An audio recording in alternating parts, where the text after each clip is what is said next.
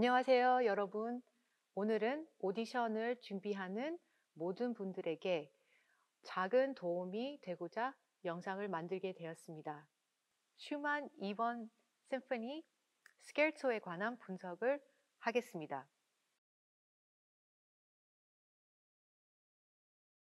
왜 이 레퍼토어는 어떤 전 세계 오케스트라든지 우리나라 오케스트라를 포함해서 항상 등장을 할까요?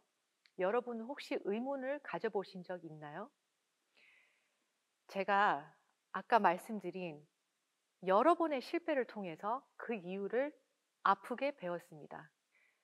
이 슈만 스케르초만큼 내가 바이올리니스트로서 악기를 다루는 사람으로서 내 기초가 어디에 있는지 과연 내 기초의 수준이 어느 정도인지 적나라하게 드러나는 레퍼토어입니다.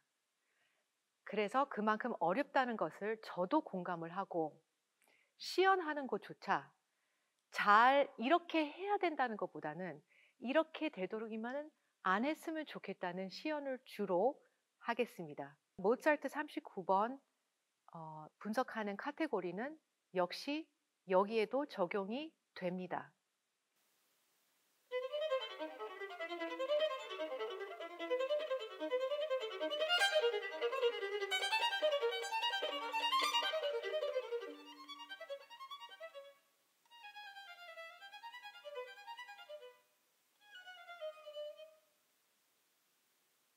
먼저 음정에 관해서 살펴보겠습니다.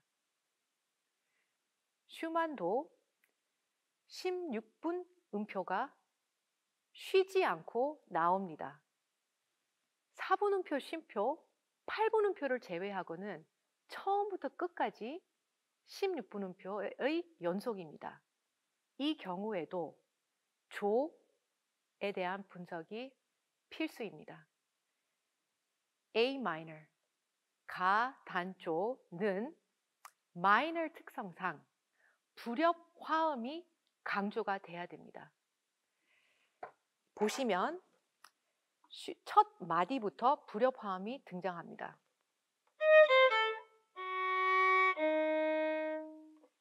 파샵, 미 플랫 요 사이를 되도록이면 크게 벌리셔야 전체적인 흐름에서 음정이 맞게 들립니다.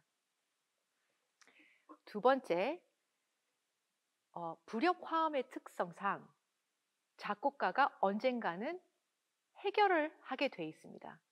제가 불협 화음 해결되는 것을 보여드리겠습니다.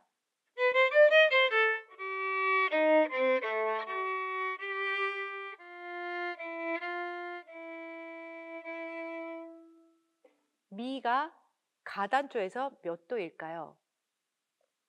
4, 5도들이 높으면은 안 됩니다. 자, 불협화음의 연속이기 때문에 강조를 해도 해도 모자랍니다. 제일 많이 여러분들이 하는 실수가 이것입니다.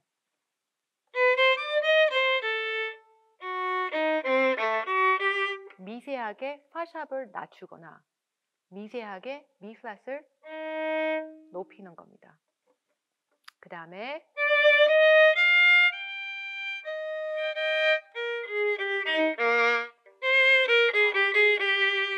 방금 보여드린 시연은 불협화음이 해결되는 마디입니다.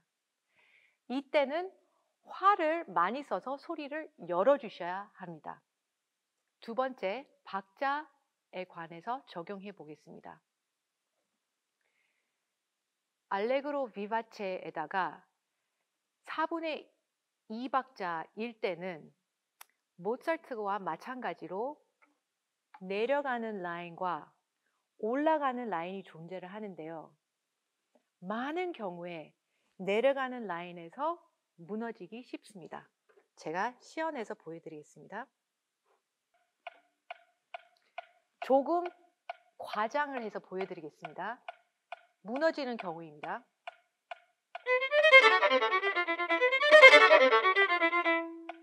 미세하지만은 많은 사람들이 하는 실수입니다. 자, 그렇다면 내려갈 때 브레이크를 딱 거시면 됩니다. 한번 시연해 보겠습니다.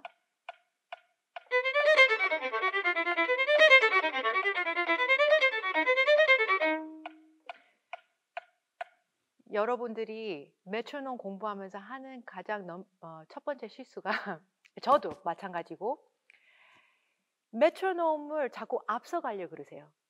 그러지 말고 박자 위를 내가 올라탄다고 생각하시면 되세요. 그러면은 몸도 릴렉스가 되고요. 몸에 힘이 풀리면서 음정이 들리기 시작해요. 그래서 다시 한번 말씀드리겠습니다. 내려가는 라인에서 절대로 무너지지 않았으면 좋겠습니다. 세 번째, 소리에 관한 분석을 하겠습니다. 이 16분 음표들이 불협 화음으로 이루어지지만 멜로디입니다. 처음부터 first violin의 멜로디를 여러분들이 연주하는 것입니다.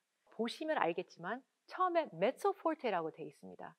그래서 처음부터 작게 하거나 너무 가볍게 하는 것보다는 내가 멜로디라는 것을 알고 있다는 소리를 내는 것이 좋습니다.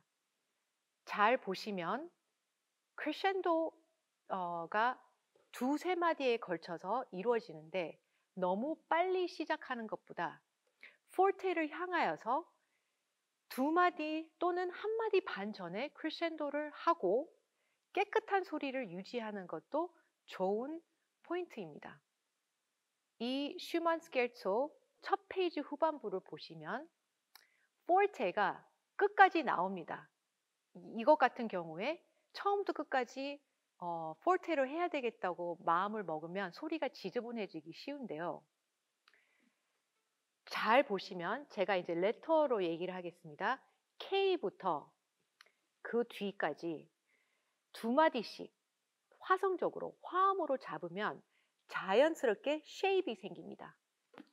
어, 시연을 한번 해보겠습니다. K 한마디 전입니다. 이거를 모양 없이 하다 보면은 빨라지거나 거칠어지기 쉽습니다. 어, 자연스럽게 떨어지는 모양을 따라가면 빨라지지 않고 편안하게 그 영어로는 taper라 그러는데 자연스럽게 사라지는 현상을 말합니다. 그거를 강조할 필요는 없지만 눈으로 화음을 따라가면 훨씬 더 소리 낼 때 자연스럽습니다.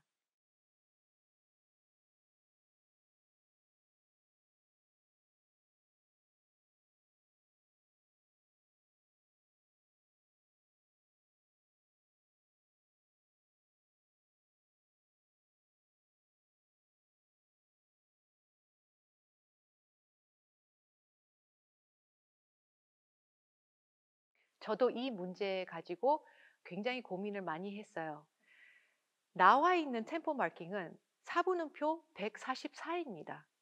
그것은 인간으로 태어났으면 가능할까 하는 템포입니다.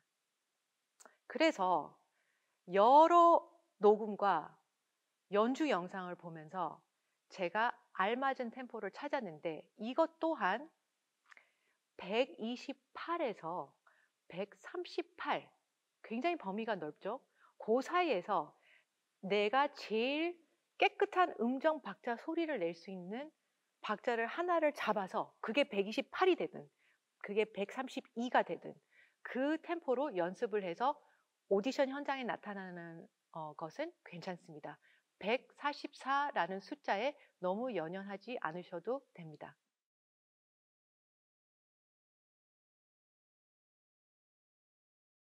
여기에 피아노부터 메소 포테, 포테까지 크리센도로 포함하여 네 가지의 악상 기호가 나옵니다. 당연히 모든 악상 기호가 선명하게 드러나야 됩니다. 자, 그런데 16분음표가 빨리 진행되는 상황에서 피아노를 유지하거나 크리센도를 유지하는 것을 조금 더 신경 쓰셔야 됩니다. 잘못하면 크리센도가 계속 한 마디씩 커져야 되는데 활 속도에 따라서 작아진다든지 소리가 끊긴다든지 그 현상을 조심하셔야 되고요. 두 번째, 아까 말씀드렸다시피 delayed crescendo. 크리센도를 되도록이면은 포르테에 가까이 가서 하는 것도 굉장히 어, 현명한 방법이고요. 아까 제가 서두에 말씀드린 볼테가 보였을 때는 힘으로 가는 게 아니라 모양을 만드시면 좋은 결과를 얻으실 수 있습니다.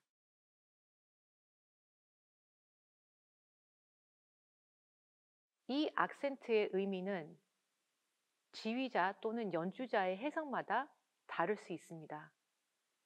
한 가지 확실한 것은 이 악센트를 표시한 이유가 분명히 있다는 것입니다. 그래서 부각시킨다기보다는 자연스럽게 타악기나 다른 파트 연주하는 것을 합쳐서 악센트를 한다고 생각하면 과하지 않게 적당하게 하실 수 있습니다.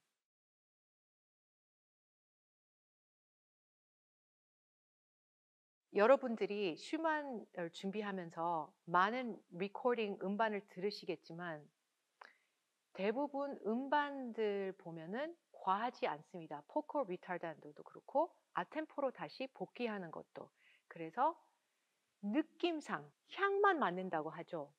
이거를 실제로 많이 느려져야 되겠다.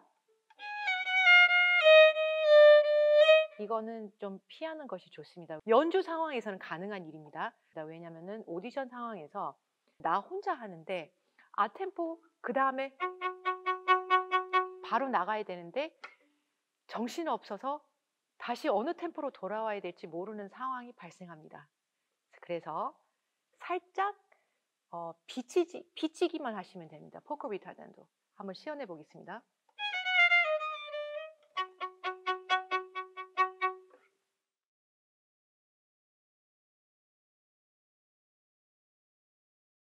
슈만 스켈토를 직접 연, 오케스트라에 들어와서 직접 연주를 할 때 느낄 수 있는 것은 피아노는 더 피아노, 폴테도 생각보다 크지 않게 해야 되겠구나 하는 것을 실전을 통해서 알 수 있습니다. 그런데 그것은 여러분이 오케스트라 입단한 다음에 소리 조절을 하는 것이고 오디션을 준비할 때는 일단은 악보에 나와 있는 그대로 어, 충실하게 바이올리니스트로서 내가 16번음표를 고르게 불협화음을 정확하게 그리고 악상 기호를 어, 건강하게 표현할 수 있다는 것을 보여주는 것이 좋습니다. 악기를 시작한 지 만으로 43년이 넘었습니다. 그리고 오케스트라에 입단한 지 22년이 넘어갑니다.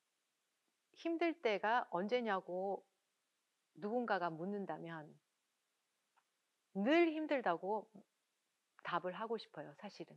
왜냐하면은 이 기가 막힌 작곡가들과 어, 그 다음에 훌륭한 지휘자, 훌륭한 동료, 소중한 관객들을 대하기 위해서 지금도 매일 연습을 합니다. 그게 힘들어요. 하지만 그만큼 보람도 큽니다. 그래서 여러분들도 오케스트라 준비하면서 끝이 아니라 아, 앞으로 매일 연습하는 과정의 시작이구나. 이 마음으로 임하시면 어, 굉장히 행복한 준비 과정이 될 것 같습니다. 감사합니다. 여러분을 뜨겁게 응원합니다.